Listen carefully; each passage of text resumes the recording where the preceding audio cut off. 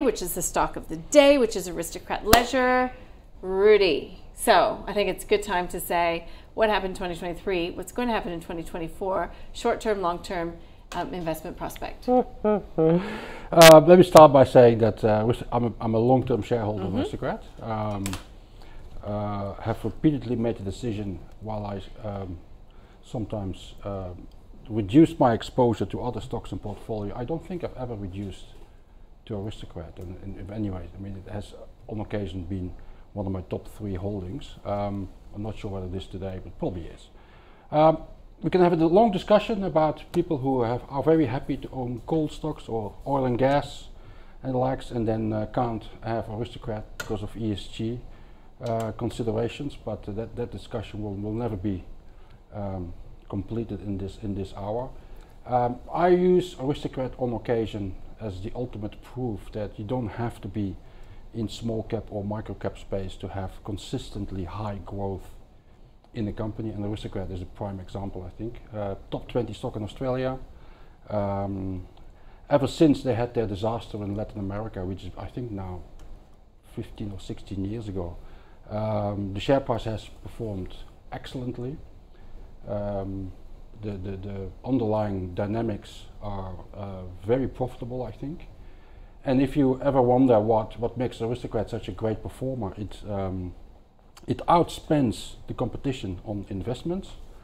It continuously finds um, new growth areas and it obviously has long moved beyond the pokies. It's now in online mm-hmm. gaming and real, real money, real money gaming, and all those names they put on it. Um, it does occasionally a, a, an acquisition that turns out well, and it's obviously um, a high growth engine, and it uh, just continues doing what it doing, what it's doing. Um, is it ever the stock of today in terms of, of share market attention and focus? Probably not, mm. but I like it that way.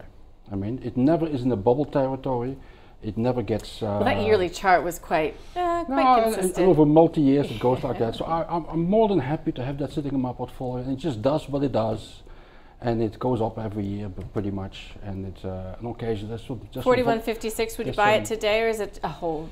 I'm more than happy to hold it here. Um, the up, there's still more upside. Um, the difficulty with a stock like Aristocrat is that it never gets really cheap and it never gets really, really expensive. So you just have to pick your level. I mean, you could buy it today, but I mean, the market is, is I mean, I, I, looked yesterday, the market is already up 5% this month, and it's mm. just adding every single day. Mm. At some stage, there will, there will some wind will come out of this, of mm-hmm. this market. Maybe then is when you, when you jump on stocks like Aristocrat. Gotcha. Well, Philip, Rudi keeps dumping on small caps, and you and I have a little bit of a soft spot for small caps. I mean, aristocrat, are you getting a lot of growth here? Or do you just have to be so super patient for that growth? Look, I love small caps. I think next year is a year of the small cap. If you look at um, GST, uh, mm-hmm. uh, GFC, mm-hmm. recession boom bust, small caps tend to outperform um, coming out of a call it depression. That's kind of what we're doing at the moment. Having said that, I also like companies with large moats. Um, Aristocrat has proven for over a decade it is very strong in what it does. My understanding is in, in North America it's about 40% market share of machines, yeah. and they keep winning because if you're um, a large uh, gaming venue anywhere, particularly the largest market in North America, you will buy last year's winners. So as long as they keep producing games that win, chances are when they're up for renewal, their customers will, will, invest in more.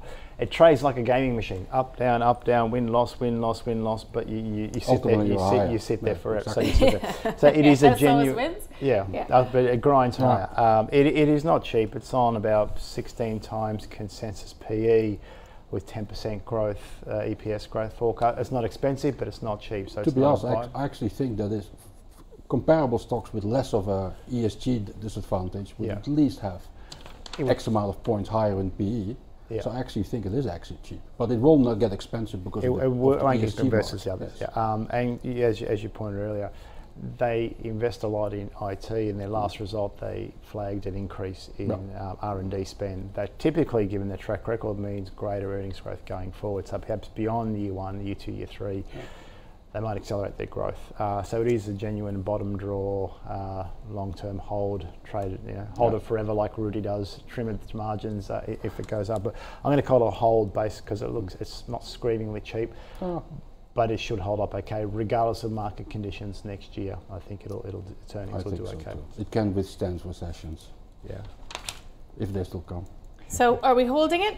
Hold for me. Hold. There you go. Um, Brad, you're welcome. Anybody else out there who likes Aristocrat Leisure or would like to have an opinion on Aristocrat Leisure as we move toward this new year of trade, there you go. You're welcome.